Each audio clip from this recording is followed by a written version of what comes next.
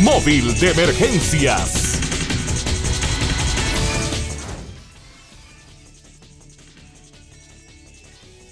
Gracias, gracias. Buenos días. A esta hora de la mañana le presentamos de manera rápida el resumen policial de los hechos más importantes ocurridos anoche en Tegucigalpa con Mayagüela y alrededores.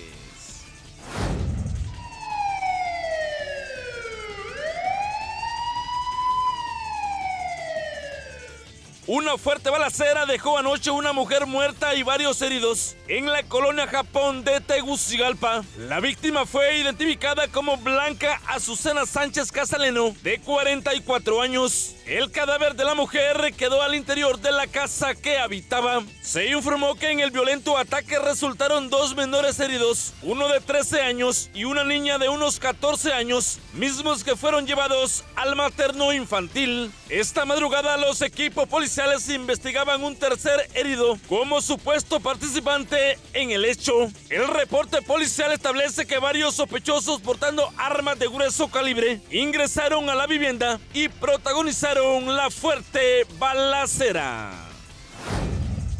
Anoche en la morgue del Ministerio Público, familiares reconocieron el cadáver de un hombre que fue encontrado muerto en Alauca, el Paraíso. El fallecido de manera preliminar fue reconocido por parientes como Franklin López. Se informó que la víctima era supuesto miembro de la Mara MS-13 por algunos tatuajes alusivos. Anoche la compañera de hogar reconoció el cuerpo y según denunció, el hombre habría desaparecido después de unos allanamientos en la colonia Miramontes de Tegucigalpa. Esta madrugada el cadáver permanecía en la morgue del Ministerio Público, donde será identificado de manera oficial.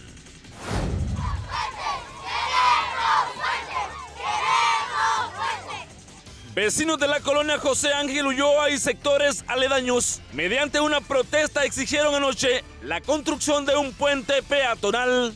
Y nosotros lo que queremos es que se, se haga responsable un personal de la alcaldía para poder hacer este, este puente. Y si no, nosotros no vamos a poder dejar el anillo periférico. La preocupación de los pobladores es por tanto niño atropellado en el denominado cruce de la muerte. Físicas nos están demostrando con el con el atropello son 16 niños. La semana pasada murió la última niña y este niño hoy a las 6 y 40 minutos fue atropellado vilmente este niño. El anillo periférico fue bloqueado con quema de llantas y otros obstáculos que limitaban el tránsito vehicular. Hombres, mujeres y niños anoche clamaban a una sola voz la urgencia de un puente peatonal.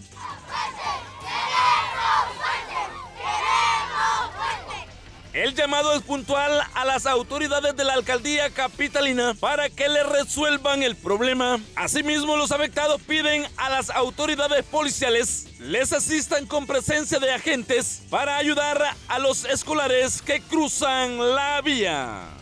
Le pedimos al jefe de tránsito que por favor contribuya porque aquí hay una hay muchos niños escolares tenemos un aproximadamente de 1.500 niños escolares.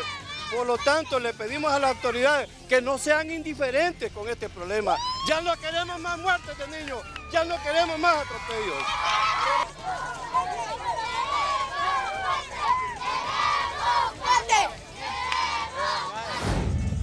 Ayer una pareja fue capturada en poder de un arma de uso policial en la colonia centroamericana de Comayagüela. Los arrestados fueron identificados como Alan Danilo Fonseca Rivera y Kimberly Michelle Torres Flores. En el sector se realizó una saturación y los ahora capturados opusieron resistencia tratando de darse a la fuga, según el informe policial. Al momento del arresto, los agentes dijeron haberlos encontrado en poder de un arma de fuego, propiedad de la Policía Nacional. Acusados por el delito antes mencionado, anoche fueron puestos a la orden de la Fiscalía competente.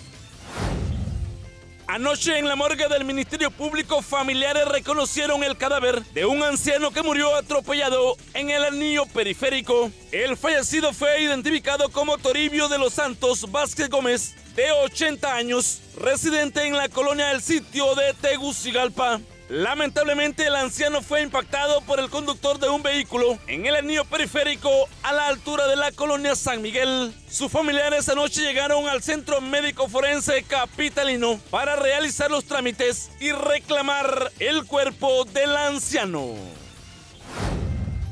Ayer se reportó la muerte de un menor luego que tomó la fatal decisión de quitarse la vida en Danlí, el paraíso. El niño fue identificado como Edin Omar Sevilla González, de apenas 13 años. Se conoció que el menor se quitó la vida mediante asfixia por suspensión. El reporte de las autoridades indica que el niño fue reprendido por sus padres y le quitaron el celular, motivo que habría provocado para que terminara con su propia vida. Sus familiares, muy consternados anoche en la morgue del Ministerio Público, realizaban los trámites para reclamar el cadáver.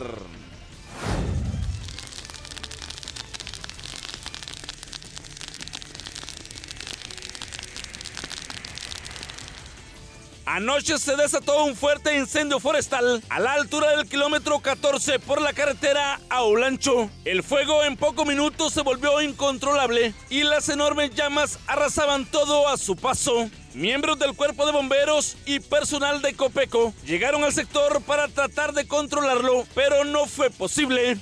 Bueno, la verdad que no se sabe qué fue, a ciencia cierta, qué fue lo que ocasionó el fuego, pero debido al fuerte viento que está haciendo, el cambio de viento pues hace que el fuego se vive y la topografía del terreno que es bastante escabrosa y la oscuridad de la noche no nos permite trabajar, es un incendio que se nos fue.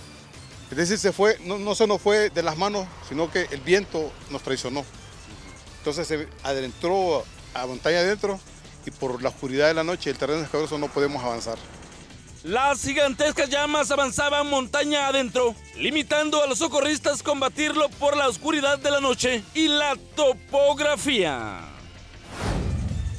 Esta madrugada, mediante una rápida reacción policial, se reportó la captura de varios sospechosos en el barrio abajo de Tegucigalpa. El reporte policial indica que los supuestos delincuentes saquearon un mercadito y cargaron un vehículo. Agentes policiales al recibir la alerta rápidamente llegaron al lugar y atraparon a los sospechosos. Asimismo, mediante un completo monitoreo a través de las cámaras del 911, ubicaron el vehículo que iba con el producto robado a la altura de la colonia Kennedy. De acuerdo a lo informado, los ahora capturados violentaron unos candados y levantaron la cortina de metal para ingresar al negocio. Agentes de la Policía Nacional Preventiva de manera sorpresiva los rodearon y los arrestaron. Esta madrugada los acusados fueron presentados ante la Fiscalía de turno. Con las imágenes de Carlos Soriano y el apoyo de Francisco Javier Quirós, y en nombre de todo un equipo en turno, para HCH les informó Carlos Raudales Maradiaga. Buenos días. Móvil de emergencias.